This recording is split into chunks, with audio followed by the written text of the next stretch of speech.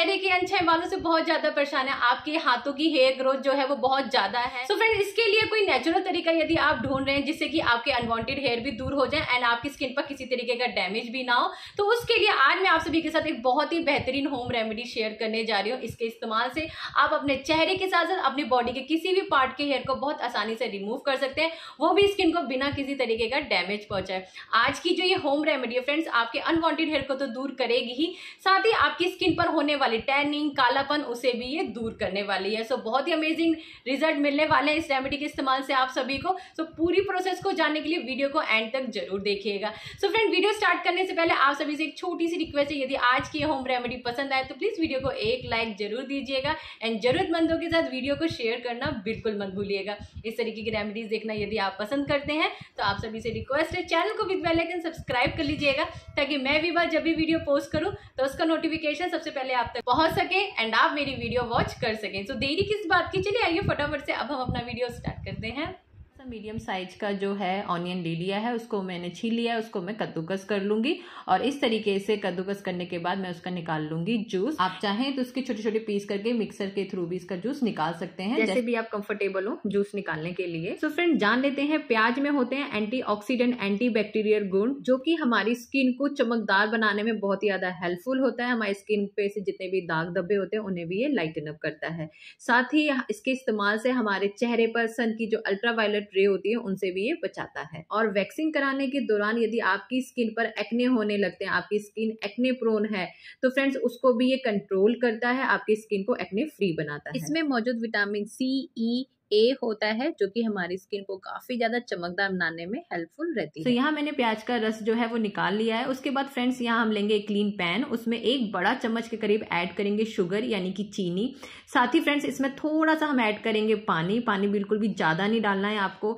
चीनी जितनी डालनी है उससे डबल हमें बस इसमें पानी डालना है। उसके बाद सेम फ्लेम पर गैस पर आप इसे अच्छे से पका लेंगे जैसा कि मैं वीडियो में करके दिखा रही हूँ। सेम आपको वैसे ही करना है। आपको इसे हिलाते रहना ताकि ये जमने ना लगे क्योंकि शुगर है फ्रेंड्स बहुत जल्दी जमने लगती है तो इस तरीके से आप इसे हिलाते रहेंगे। जब चीनी जो है पानी में अच्छे से घुल जाएगी तो उसके बाद आप देख थोड़ा सा इसमें नींबू का रस कर देंगे। तो यहाँ आधा जो नींबू है उसका पूरा रस मैंने इसमें डाल दिया है और इसको मैं अच्छे से मिक्स कर दूँगी। आपको इसे मिक्स करते रहना है। इसके बाद फ्रेंड्स इसमें आधा चम्मच के करीब आप शहद डाल देंगे। शहद नहीं है आपके पास तो यहाँ आप गुड़ का भी इस्तेमाल कर सकते हैं। उसके बाद इन सारी चीज़ों को हम अच्छे से मिक्स कर लेंगे। आप देखेंगे कि ये चीज़ धीरे धीरे गाढ़ी होने लगेगी। आपको इसे चलाते रहना है क्योंकि शुगर जो होता है फ्रेंड्स वो बहुत जल्दी मेल्ट हो जाता है और उसके बाद वो डार्क होने लगता है। तो उसके लिए आपको इसे चलाते रहना है। जब सारी चीज़ अच्छे से मिक्स हो जाए और ये गाढ़ा होने लगे तो आपको इसे गैस पे से उतार लेना है गैस ऑफ़ कर देना है।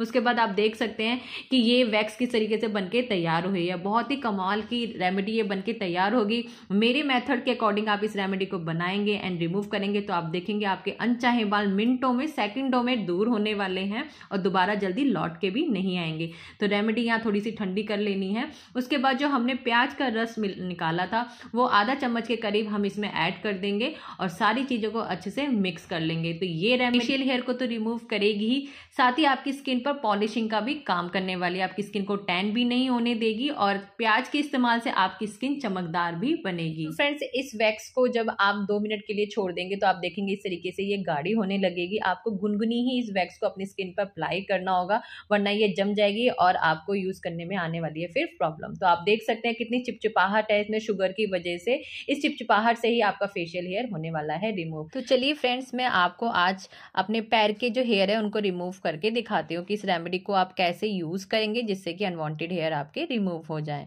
सो so फ्रेंड जब आप इस रेमेडी को अपने हेयर रिमूव करने के लिए अप्लाई करेंगे तो उससे पहले आप उस जगह को, यानी अपने हेयर वाले पोर्शन को अच्छे से क्लीन कर लेंगे। उस पर किसी भी तरीके का गंदगी मॉइस्चराइजर ना लगा हो। सो so फ्रेंड उसके बाद जो हमने रेमेडी बनाई है, आप देख सकते हैं कि ये गाढ़ी होने लग गई है और अभी भी ये थोड़ी सी गर्म है। गर्म ही इस्तेमाल करेंगे गुनगुनी सी। उसके बाद फ्रेंड्स, आप स्पून की हेल्प से इस रेमेडी को अपने हेयर वाले पोर्शन पे अच्छे से अप्लाई कर लेंगे एक पतली सी लेयर के साथ। तो आप देख सकते हैं स्पून से किस तरीके से मैं स्प्रेड कर रही हूँ। बिल्कुल आपको ऐसे ही स्प्रेड करना है जिस तरीके से मैं करके दिखा रही हूँ। इसके बाद फ्रेंड्स, आप कोई भी कॉटन का कपड़ा, कोई हैंकी या फिर कोई भी कॉटन की वाइप, इस पर आप इस तरीके से लगा देंगे और उसके बाद थोड़ा सा डैप डैप करेंगे ताकि इस स्किन से पर जो हमने वैक्स लगाई है, उससे ये चिपक जाए। ठीक है फ्रेंड्स इसको चिपचिपाहट इसकी यदि आपके हाथ में लग गई है तो आप यहाँ टेलकम पाउडर का इस्तेमाल कर सकते हैं। इसके ऊपर आप देख सकते हैं वीडियो में जैसे मैं करके दिखा रही हूँ।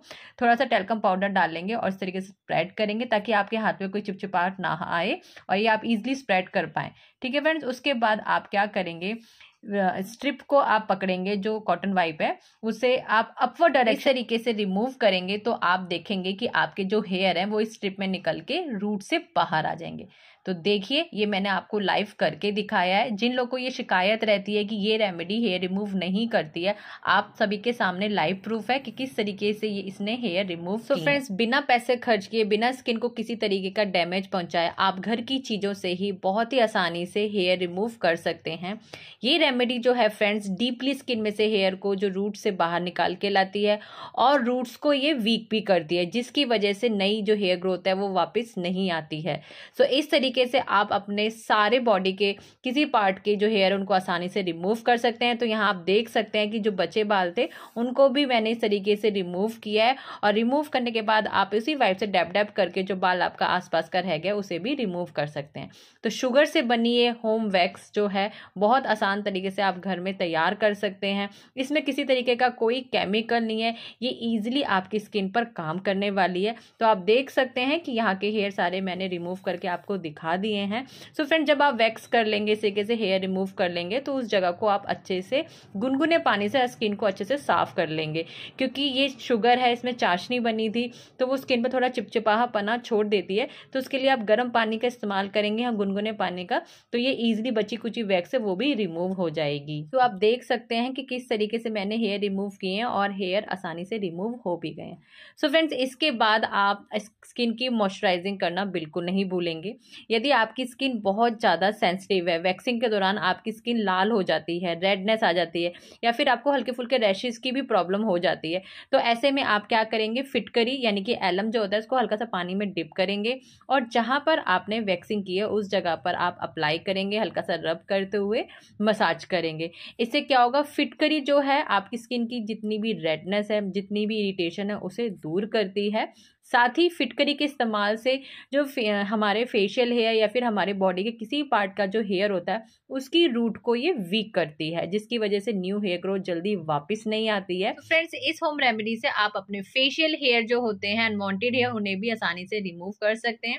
तो फ्रेंड्स मुझे तो इस होम रेमेडी से बहुत अच्छे रिज़ल्ट मिले आप भी इसे ट्राई करिएगा एंड रिज़ल्ट कैसे मिले प्लीज़ मुझे कमेंट करना। सो so फ्रेंड्स ये था मेरा आज का वीडियो उम्मीद करती हूँ आज की होम रेमेडी आप सभी को पसंद आएगी सो आप भी इसे ज़रूर ट्राई करिए करिएगा अपने अनवांटेड हेयर को रिमूव करने के लिए। एंड इसके रिज़ल्ट कैसे मिले हैं? प्लीज़ फ्रेंड्स मुझे कमेंट करके ज़रूर बताइएगा। एंड साथ ही ये ज़रूर बताइएगा कि आप मेरी वीडियो को किस शहर से वॉच करें ताकि मैं जा, भी जान पाऊँ कि मेरी वीडियो कहाँ तक पहुँच पा रही है। एंड फ्रेंड्स इस तरीके की रेमेडीज देखना यदि आप पसंद करते हैं चैनल पर फ़र्स्ट टाइम विज़िट किए या फिर आज आप मुझे पहली बार देख रहे हैं तो प्लीज़ आप सभी से रिक्वेस्ट है चैनल को विद बेल आइकन सब्सक्राइब कर लीजिएगा क्योंकि मैं विवा इस चैनल पर स्किन केयर से related tried and tested home remedies आप सभी के साथ शेयर करती रहती हूँ। सो so, मैं विभा इस वीडियो को अब यहीं करती हूँ एंड जल्दी मिलती है एक और नए वीडियो के साथ। तब तक के लिए अपना खूब सारा ख्याल रखिए, खुश रहिए। Thank you for watching bye